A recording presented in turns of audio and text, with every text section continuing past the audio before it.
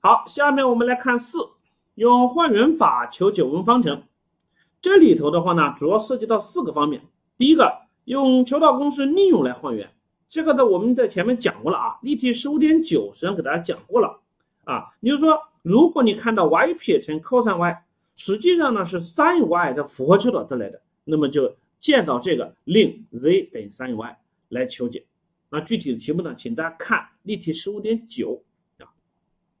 然后二三四啊，用自变量换元。用因变量换元，用 x y 地位互换来换元，这个通通是有提示的啊。我分别在下面呢，给大家用例题十五点十七、十五点十八和十五点十九给大家做了这个讲解。我挑其中啊计算量最大的一个例题十五点十七来给大家讲一讲这个部分。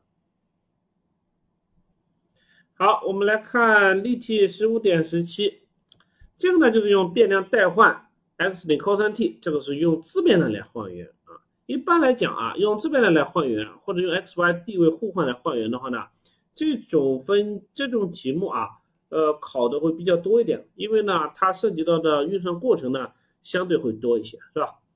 那么化简为方程是吧？嗯，并求满足初始条件的特解。那么首先呢，我们这里的搞清楚啊，这个原来呢，y 是 x 函数是吧？现在呢？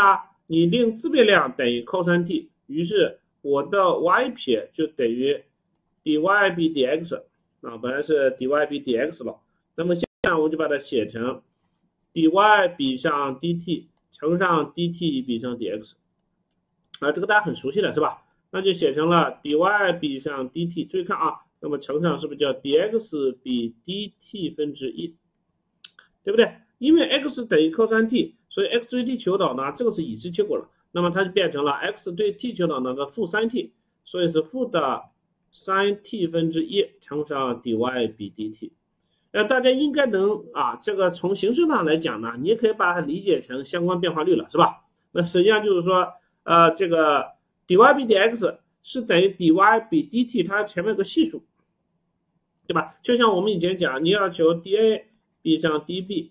它等于呢，dA 比上 dC 乘上 dC 比上 dB，是这意思吧？形式上啊，这个就是这种情况了。你要找相关变化率，这两个变化率之间的关系呢，这个是系数啊，就这个道理是吧？哎，呃，从形式上来讲呢，可以这样来理解是吧？好，呃，这样呢，我们就得到了第一个啊，y 撇是吧？那么接下来呢，就要 y 两撇了是吧？这个这个计算量更大一些啊，y 的两阶导数等于呢，那就是 dy 比上 dx 再 d 比 dx，它定义本身是这样的，是吧？所以呢，我们这里要注意啊。那么 dy 比 x 已经有这个表达式了，所以不要动它。dy 比 dx，然后的话呢，对了，你写成 dt 再乘以 dt 比上 dx，能看到意思吧？所以这样的话呢，我们就可以理解出来这样一个结果。这个还是知道的啊。dt 比 dx 是这个一样的啊，是负的三 t 分之一。我可以把它写前面来啊，负的三 t 分之一。先把它解决了啊，先把它解决了。好，剩下这个东西啊，大家注意看哈，你是这样哎很清楚，你的 dy dx 呢，你是不是已经写成这个表达式了？所以呢，就是用它对 t 求导，所以这就涉及到呢，前面求导后面不动，前面求导呢是 u 分之一求导是负 u 方分之一再添负号，所以这样的话呢是这个 u 的平方分之一，然后再乘上什么？哎，很好，u 的导数，三求导呢是 cos，所以有个 cos t。能看到意思吧？然后再乘以后面不动，是 dy 比上 dt，再加上前面不动，那就是减去 sin t 分之一了啊。加上前面不动，乘上后面求导，那就是 d 方 y 比上 dt 方。能看到意思吧？哎，好，那么走到这一步的话呢，大家把它乘进去呢，它就等于把它乘进去，这个呢就是负的，那么 sin t 的三次方分之 cos t，那么 dy 比上 dt。这位乘过去呢，就相当于加上三 t 的平方分之一，d 方 y 比上 dt 方。好，于是呢，我们 dy 比 dx 和 dy 比 t 的 dt 的关系有了。然后呢，呃，这个 y 两撇跟这个 y 对 t 求导和 y 对 t 求二阶导呢，这个表达式也有了。我们就把它们怎么样，啊，带回去啊，带到这个表达式去啊，我们就会得到，呃，那么就是。那么一减去 x 方，x 方现在写成 cos t 的平方了。那么这就是商义方了是吧？商义方乘上这个 y 两撇啊，y 两撇，y 两撇就是就这个东西了啊，这个东西了。所以呢就乘上负的 sin t 的三次方分之 cos t，那么 dy 比上 dt 是吧？加上 sin t 的平方分之 d 方 y 比上 dt 方，这是第一项。然后呢减去 x y 撇了啊，减去 x，x 呢就是刚才说的 cos t 了。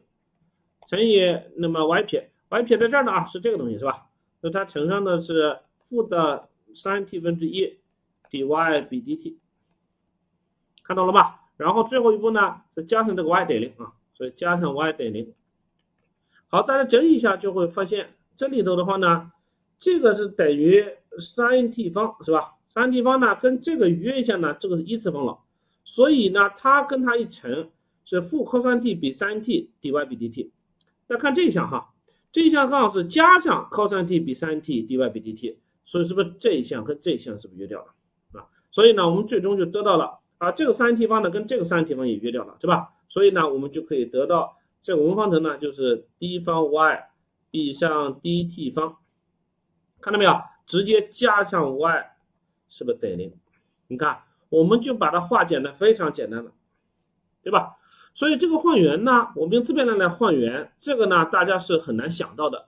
所以在考研的这个数学卷子上呢，对于这种问题是可以提供给大家这个变量代换的啊提示的，他告诉你了。然后呢，考察同学们什么很好，考察同学们的综合计算能力啊。你首先啊，在我们的这个一元函数微分学这个计算过程啊，要非常熟悉。然后呢，化成这文方程之后的话呢，再去求解，那这个呢相对就简单多了啊。啊，我们简单说一下就行了啊。这里头呢，那这个就写成 lambda 方加一得零了，对吧？齐次方程嘛，所以它的 lambda 一二是等于什么？零加减 i，是吧？阿尔法是零，贝塔是一了，所以这样可以得到它的齐次方的通解等于等于之后啊，好，那就是 e 的零 x 次方零 t 次方，对吧？e 的零 t 次方可以不写的哈，e 的零次方，啊乘上 c 倍的 cosine 贝塔 t 啊加上 c 二倍的 sin 贝塔 t。那就得到这个，这个不用写，就是一啊，就 c cosine t 加上 c 二 sin t 啊。好，那么你现在呢就需要把它怎么样？呃，就是出来了啊，大家别忘了回带就行了，是吧？因为 x 等于 cosine t 啊，所以的话呢带回来，我就不再算了啊，这个就很好算了。那么 x 等于 cos t 换回 x，那么三 t 呢是根号下一减 x 方，然后根据两个初始条件，呃，x 等于零，y 等于一带进去。然后 y 求导，再把 x 等于零，y 一撇等于二带进去，求出两个系数 c、c 二，于是呢得到了方程的这个特解啊，这个题宣告完毕。这种考题是一种类型啊，是一种类型，请大家要注意。